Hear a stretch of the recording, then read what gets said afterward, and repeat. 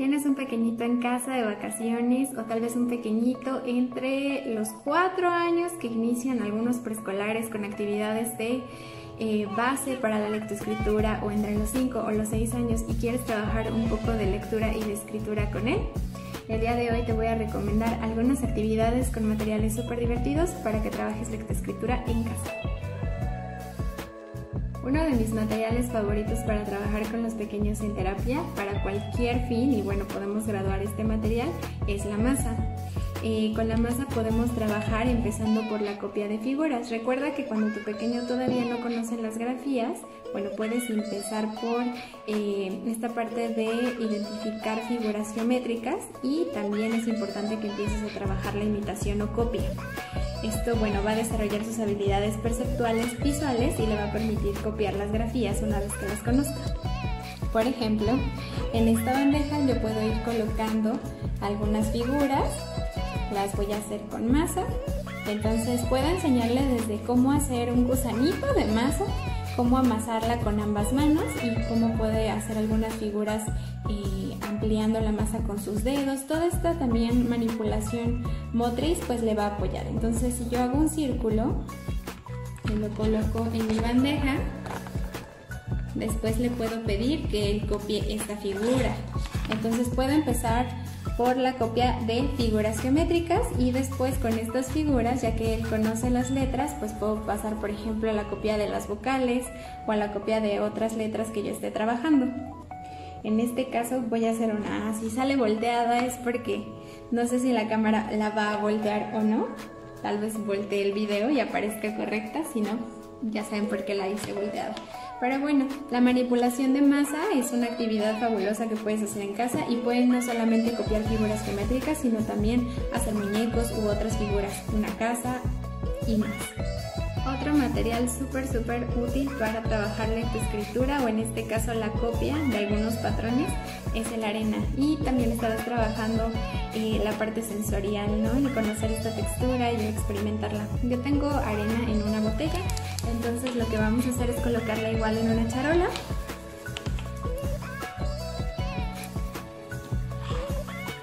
ya que la tenemos sobre nuestra charola, tú puedes escoger la cantidad y podemos empezar a copiar trazos. Entonces pueden ser trazos, por ejemplo, como un círculo, pueden ser trazos como un triángulo o podemos empezar con algunas letras, por ejemplo como la M. Recuerden que mis letras van a estar volteadas por el video. Podemos eh, incluso copiar a lo mejor una casa, patrones, Ajá. Pero esto nos ayuda mucho. Por ejemplo, si yo hago un, sonido mm, aquí y lo imito, el niño también puede imitarlo de este lado de la charola. Esta actividad es muy buena para trabajar la percepción visual y la imitación y iniciar los primeros trazos cuidando la direccionalidad de los mismos.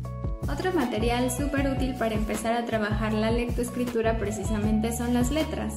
Existen letras de este tipo como letras de FOMI o a veces tienen eh, magnet atrás o imán y estas las puedes utilizar para la identificación. Por ejemplo, puedes poner varias letras y preguntarle dónde está cierta letra. O puedes mostrarle una tira de una palabra y pedirle que él con estas letras copie la palabra. Estas tiras, por ejemplo, yo las tengo de un método de lectoescritura, pero tú solamente puedes tomar papel y hacer las palabras que necesitas que tu peque empiece a leer y a escribir. Recuerda muy bien la secuencia didáctica que estén trabajando con él, ya sea su terapeuta o su maestra en la escuela y bueno, si tú eres terapeuta o la maestra de este niño, tú debes tener la secuencia didáctica de cuáles son los sonidos, consonantes, vocales y combinaciones de letras que él ya tiene para poder leerlas, identificarlas o hacerlas con estas mismas. Si tú tienes letras de FOMI, también las puedes moldear con masa. Le puedes presentar una letra y que él la haga en masa. Y de la misma forma puedes presentar la letra y que él la moldee en, eh, en el arena, ¿no? Este caso es una U y que él haga el trazo. Entonces, eh, tener letras de FOMI la verdad es que es súper útil para empezar a leer y escribir. Otro material que te puede apoyar y que también es muy común que tengamos en casa, incluso desde que son pequeñitos, estos bloques se los compramos generalmente a los bebés porque pensamos que son juguetes que muy fácilmente pueden manipular. Muchas veces cuando ellos crecen los regalamos sin saber que con ellos podemos aprender a leer y escribir. ¿Cómo hacerlo? Bueno, puedes de la misma forma eh, pegarle una etiqueta con la sílaba o letra a la cual corresponde este bloque. A mí me gusta ser muy específica, por ejemplo, este bloque tiene tres, tres espacios. Entonces, como yo quiero generar esa conciencia léxica en mi pequeño para que él sepa que corresponde, por ejemplo, a tres letras con un marcador que puedas limpiar después, puedes poner una sílaba trabada, por ejemplo, como bra, ¿no? Entonces puedes poner bra aquí. Y él sabe que cada uno de estos puntos corresponde a una letra. De la misma forma, si aquí tienes dos, puedes poner una sílaba como la.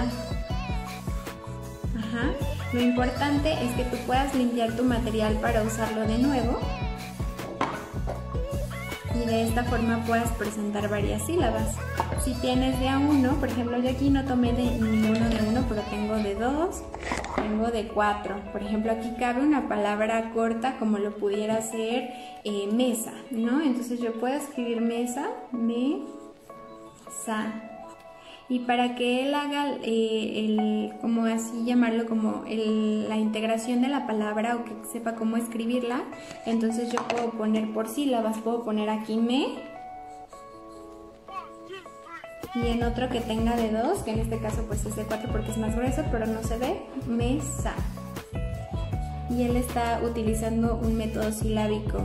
Disculpenme si sale volteado, recuerden que la cámara a veces voltea los videos. Entonces, esta es una forma en la cual puedes trabajar la lectoescritura y él va a estar haciendo este análisis de cuántas letras lleva cada uno por los los este, chipotitos que tiene aquí. Y bueno pues también lo puedes borrar fácilmente puedes lavar tus materiales y ya no van a tener nada escrito y vas a poder utilizarlos una y otra vez. Recuerda que tus tiras si haces tiras de las palabras que tu pequeño ya puede escribir pues estas tiras también serán súper útiles para que encima de ellas escribas con masa o las escribas estas palabras en arena o las escribas con tus letras de juguete o las escribas con tus bloques. Espero que te haya gustado mucho este video, que hayas aprendido nuevas actividades y técnicas para trabajar la lectoescritura con tu pequeño en casa. Y si tienes más dudas sobre otra actividad o de qué otra forma puedes utilizarla, escríbemela en los comentarios y yo te responderé personalmente.